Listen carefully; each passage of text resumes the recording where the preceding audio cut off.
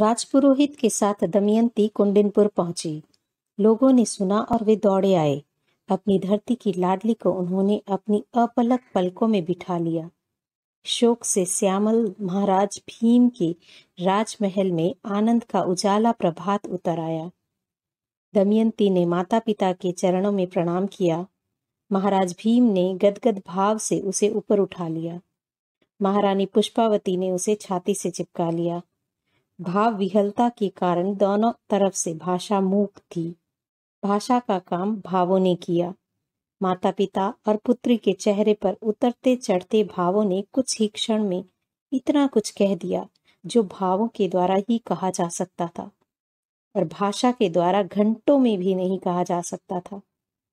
जो कुछ शेष बचा था, वह सजल नयनों ने कह दिया, बड़ा करुणामय दृश्य था वह।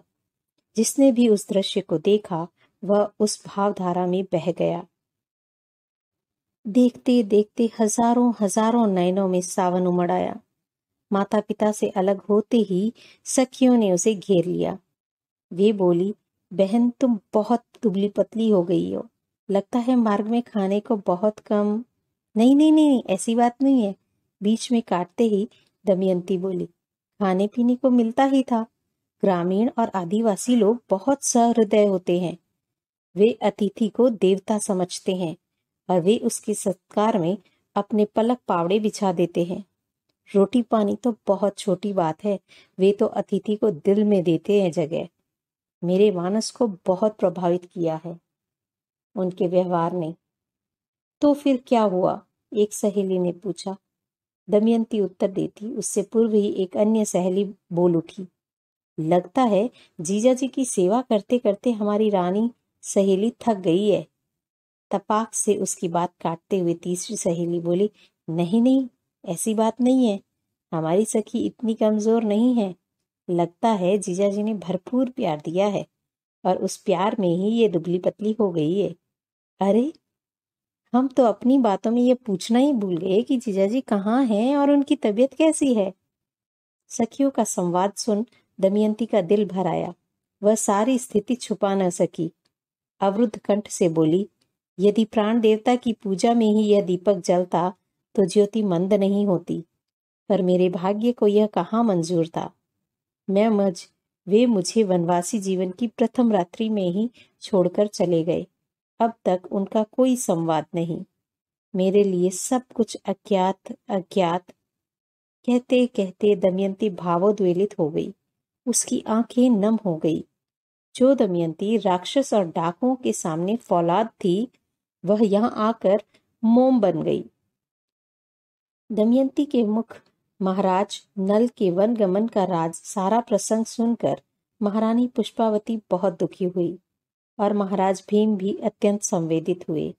बेटी के मिलने से जो अपार हर्ष का सागर उनके दिल में कलोलित होने लगा था, वह एक बार के लिए सूख गया। खोज का द्वितीय चरण आरंभ हुआ। नृप भीम अन्य सभी कार्यों को गौण कर युद्ध स्तर पर इस कार्य में जुट गए और दूर दूर तक उपचारों का जाल बिछा दिया। गाँव गाँव और नगर नगर अनुचर भेजे गए। राज्य का चप्पा चप्पा छान डाला गया, पर कहीं भी नल के बारे में कोई सुराग नहीं मिला। इस स्थिति में नृपति भीम का चिंतित होना स्वाभाविक था। सुनसुमारपुर का वर्णिक निदेशानुसार पुनः महाराज भीम के श्री चरणों में उपस्थित हुआ। महाराज ने अपने चतुर राजपुरोहित को उसके साथ विदा कर दिया। राजपुरोहित के साथ उन्होंने सुनसुमारपुर के अधिशास्ता महाराजा दधिपर्ण के लिए एक संदेश भी भेजा। पुरोहित जी संदेश लेकर नरेश दधिपर्ण के दरबार में उपस्थित हुए। शिष्ट अभिवादन करते हुए उन्होंने संदेश पत्र राजा को भेंट किया।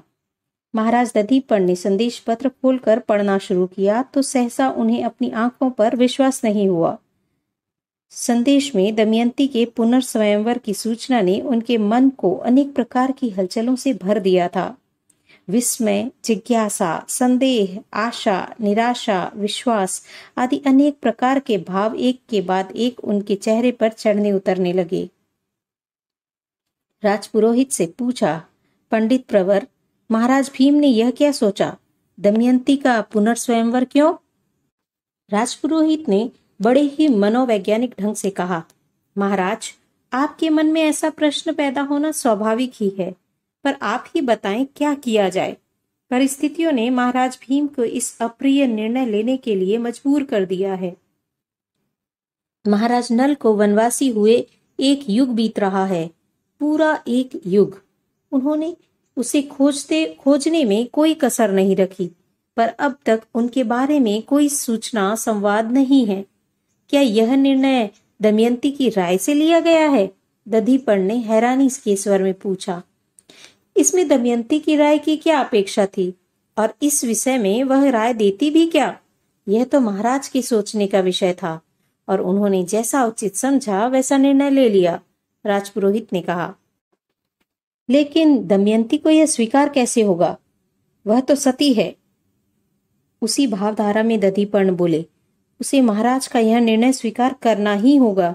आखिर माता पिता की आज्ञा को शिरोधार्य करने से बढ़कर संतान के लिए और कौन सा शील है? फिर वह कोई ना समझ तो नहीं है, जो माता पिता की परिस्थिति को ना समझे। इस तरुण अवस्था में उसके यूँ घर में रहने से माता पिता के सामने बहुत दुविधाजनक स्थिति पैदा हो गई है। इस तथ्य से वह अनभिज्ञ नहीं है। राजपुरोहित ने अपने ढंग से बात को समझोते हुए कहा। लेकिन एक बात मेरी समझ से बाहर है।